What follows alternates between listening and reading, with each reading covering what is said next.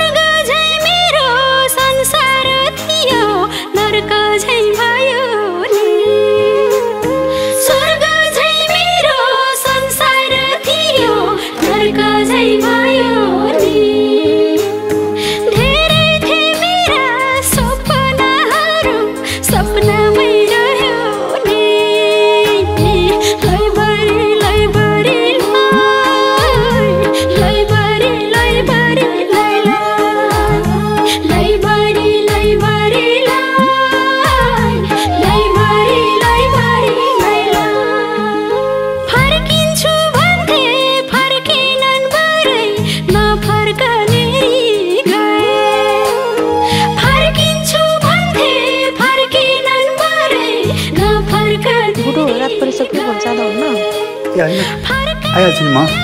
तिमीले भात पकाएर राख न है। लैजानुपर्छ कि? दुध त्यस्तै छ।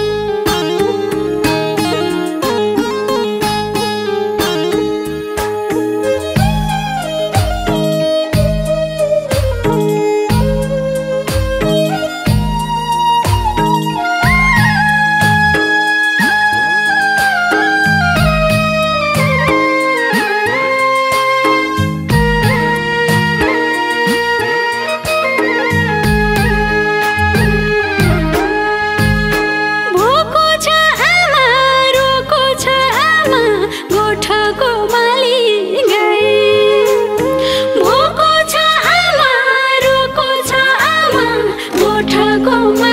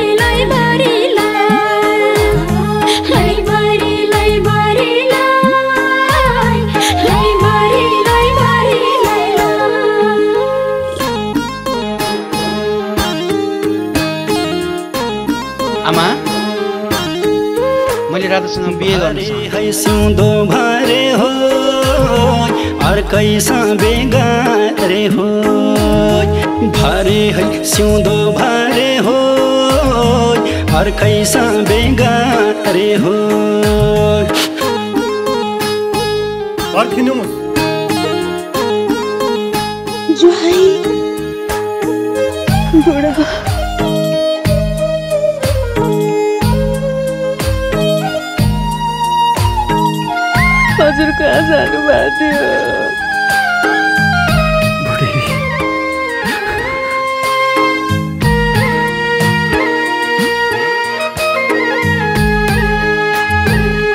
बहिनी मलाई माफ गरिदिनुहोस् लैबारी लैबारी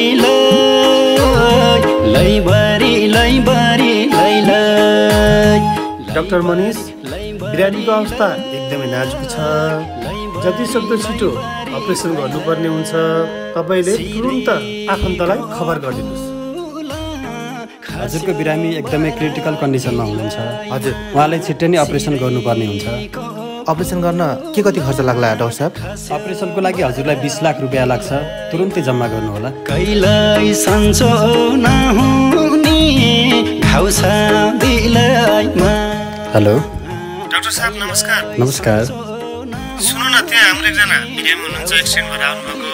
खर्च अलि धेरै लाग्ने भयो डाक्टर साहब। हजुरले यसो कुरा बुझिदिनु पर्यो। बाँचेर नि खासै के होला जस्तो छैन। होइन हजुरको काम बन्छ तर हजुरलाई चाहिँ त्यो कामको लागि दुई लाख रुपियाँ जम्मा गर्नुपर्ने हुन्छ। हुन्छ हुन्छ डाक्टर साहब।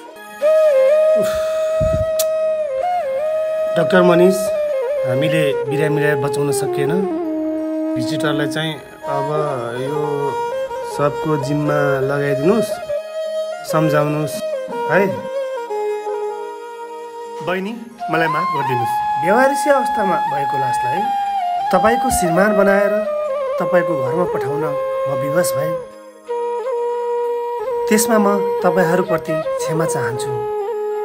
तर तपाईँको श्रीमानलाई उपचार गरेर निको बनाउने डक्टर पनि मै हुँ है।